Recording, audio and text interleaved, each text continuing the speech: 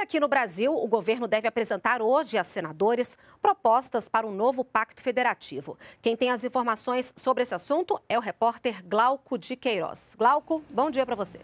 Olá, bom dia Renata, bom dia a todos.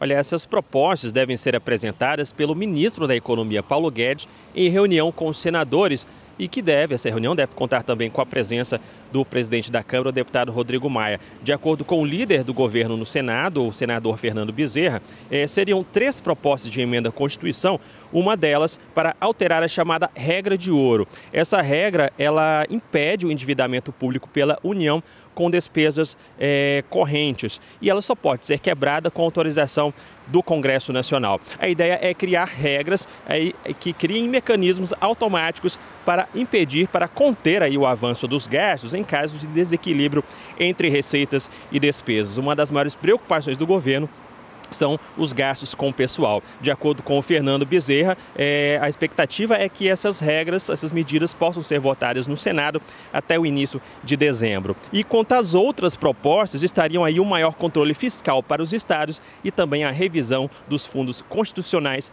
e infraconstitucionais. Renato, com você. Obrigada, Glauco, pelas suas informações.